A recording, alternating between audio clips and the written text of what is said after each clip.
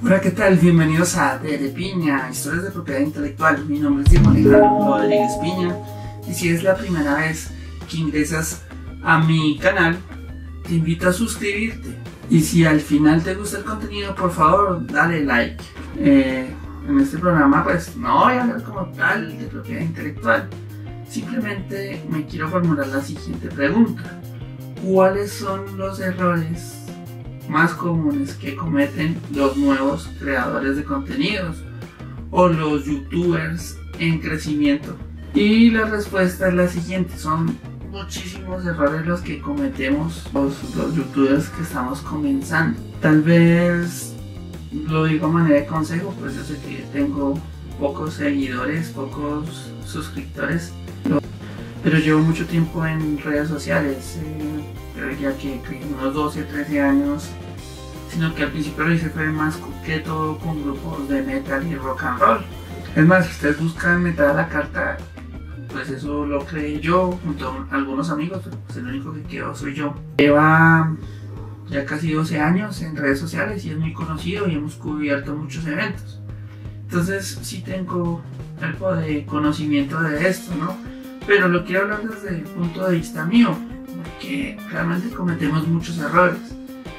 Yo cuando me metí de lleno en esto hace como dos años y medio estoy subiendo videos, ya he subido más de 100 videos me di cuenta que era complicado, que la gente ya no lo seguía y más que pues eh, digamos herramientas como Content ID han cambiado y todo este tipo del protocolo que usa YouTube para detectar si las personas están monetizando todas estas cuestiones pues cambió bastante entonces hoy en día están pidiendo 4000 horas de reproducción en los últimos 12 meses y más de 1000 suscriptores. Y es una cifra que los youtubers nuevos piensan que es muy lejana de alcanzar, entonces hacen todo tipo de triquizuelas. Yo he visto algunas cosas y son hasta chistosas, entonces a mí me parece que este es un error grandísimo porque Google, que es el dueño de YouTube, no, no, no es bobo, ellos se pillan todo esto y un reclamo que le hicieron a YouTube que la verdad me pareció chistosísimo. Primero con una ortografía horrible, que es un error que cometen frecuentemente los youtubers. O sea, se hacen ver como que son personas que no son expertos para este tipo de cosas. Y hay una cuestión que es importante, es verse fuerte, ¿no? Verse fuerte a los demás, como dicen los mexicanos, que sea bien mamón. Pero no o sea, como a buscar la lástima. Y hay veces que yo a veces digo, ay, nadie me sigue. Inclusive yo también hice una vez un meme. Yo creo que ese fue un error que yo cometí. Uno no se debe verse débil ante la gente, sino todo lo contrario. Sigue mi canal porque yo te tengo cosas maravillosas, cosas así.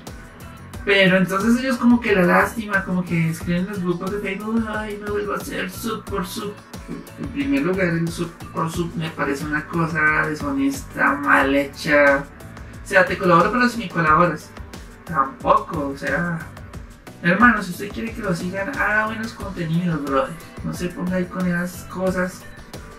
Porque no es algo que lo va a llenar de satisfacción o sea, tener un spam ahí de, seguidores ahí por un compromiso. Yo también intenté hacer eso, pero lo hice muy poquito.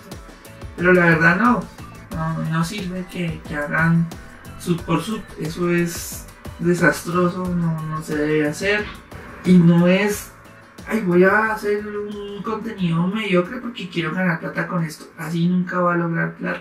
¿Por qué? Porque resulta que si ustedes hacen un contenido mediocre, pues no van a tener seguidores. Yo visto canales que, ay, colabora mi amigo, dame tu suscripción. ¿Para qué le dar la suscripción? Usted no tiene nada que mostrar, viejo. Son canales que están vacíos. O yo no sé si es que lo hacen es para venderlos o qué. O sea, hay mucha trampa y por lo que se mueve billetes. Si el canal tiene altas visitas, pues obviamente se mueve billetes. Yo creo que lo principal es que hagan los videos con gusto. Y lo digo porque yo ya soy viejo. me veo muy joven y todo, pero pues ya tengo más de treinta y pico de años. Ya no, ya no me cocino con tres aguas, como decimos aquí en Colombia. Entonces, en cierta manera sí, aunque tenga pocos seguidores, creo que sí puedo darles uno que otro consejo, porque pues obviamente pues, yo soy abogado y, he leído cosas y me gusta mucho leer y comparar. Entonces pienso que es importante esto en vez de, de, quejarse. Ahora sí voy con algo de propiedad intelectual. ¿Por qué es importante todo esto? Porque pues ustedes están formando una empresa. Sí, se están volviendo youtubers es para formar una empresa para crecer, verdad, están en crecimiento. Yo no digo pequeños youtubers porque pequeños se queda ahí, ustedes están creciendo. Entonces, si quieren crecer demasiado, lo que tienen que hacer es formar su empresa. Entonces, algún día tendrán que ir a una cámara de comercio a registrar la empresa que tienen como youtubers. Si quieren hacer algo grande, crear nuevas empresas, otras plataformas de trabajo, ahorrar dinero, dejar un colchoncito para algo más porque pueden que tengan un boom mediático que ay, se volvieron muy famosos. Pero si no tienen una marca registrada, si no tienen una empresa registrada, yuca. Si no son innovadores, ¿sí? Entonces tienen que mirar todas estas cosas, tienen que ser originales, innovadores, saber expresar lo, que tienen. Todo esto es muy importante que lo hagan. Por esto yo le digo, me atrevo a dar un consejo porque pues medio conozco algo de, estas cosas, así ustedes ven que mi canal tiene pocos seguidores. Tal vez hasta ahorita es que le estoy empezando a meter todo el esmero, toda la dedicación, toda la confianza para que las cosas me salgan bien. Y pues obviamente sé que me van a salir bien. Pero sí, es un consejo que, que doy como amigo, como una observación, porque en serio, primero son personas muy jóvenes que quieren empezar con esto, pero no le meten como ese, hombre, aprenda de programación, aprenda de cosas relacionadas con esto, aprenda a manejar una cámara.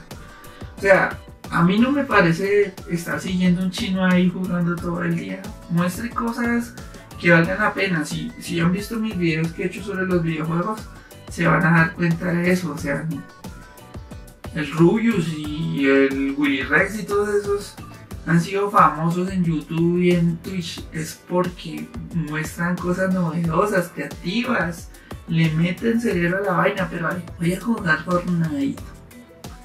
Eh, estoy jugando Fortnite. Oh no, me encanta el Fortnite. Ah, diciendo palabrotas, o teniendo mala ortografía, o sea, se ve todo como tan improvisado que no les provoca unos ejitos. Entonces, digamos, son errores que todos cometimos. Por eso les digo, yo también he cometido errores. Pero pues como les digo, tenemos que vernos fuertes como youtubers, pues para que las cosas puedan salir bien. Quería hablarles de eso. Eh, espero se suscriban a mi canal y nos vemos en otra ocasión. Bueno, otra ocasión sí les hablaré más de propiedad intelectual. Ahorita quería hacer esta pequeña reflexión. Que estén muy bien. Chao, chao, bye, bye.